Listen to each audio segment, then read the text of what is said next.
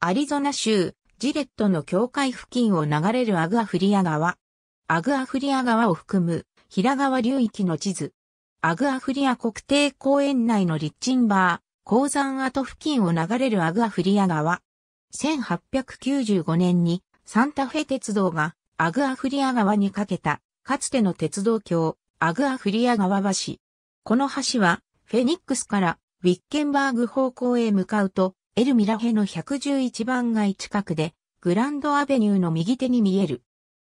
アグアフリア川は、アメリカ合衆国アリゾナ州、プレスコットの東北東20マイルほどの場所から南方へと流れる長さが120マイルほどの間欠河川。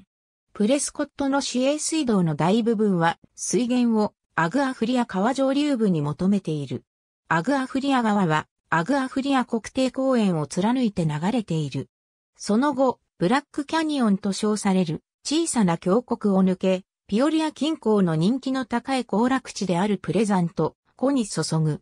雨季になり、普段は枯れ川となっているアグアフリア川に水が流れる時には、その流れは平川に注ぐが、平川自体も雨季にしか流れがない川である。